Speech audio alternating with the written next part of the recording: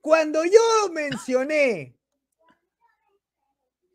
cuando yo mencioné hace mucho que había leído mi, mi crónica del diario Daily Mail de Inglaterra, se burlaron. Este es un huevón. Sigue Fabián, Fabián, Fabián. Señor, ¿le harán pruebas dactilares en la FIFA? Ahí está. ¿Tú qué crees, amigo? No. La Daily Mail pone a Perú en el Mundial.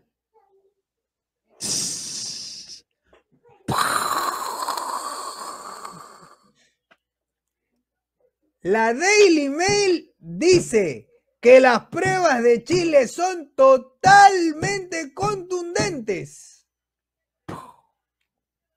De bautismo de Tumaco, Colombia, a nombre de Byron Javier Castillo Segura, pero no existe a nombre de Byron David Castillo Segura. Raro, ¿no?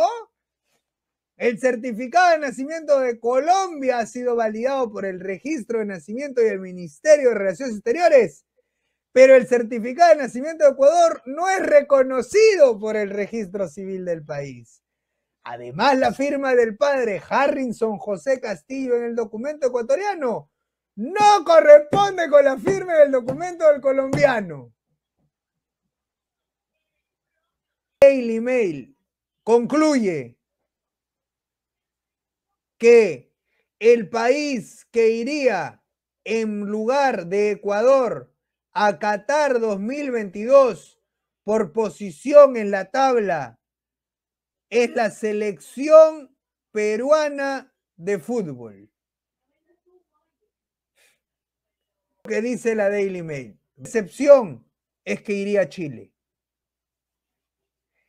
Es mi percepción, pero la Daily Mail de Inglaterra concluye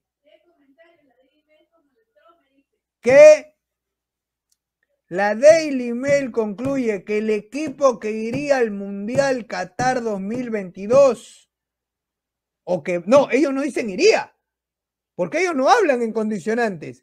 Ellos dicen totalmente claro, el equipo que irá a Qatar 2022, no puedo decir iría porque la Mail no dice iría, dice irá a Qatar 2022 es la selección peruana de fútbol, valiéndose de la posición quinta y subiendo a colocarse cuarto y yendo al mundial directamente.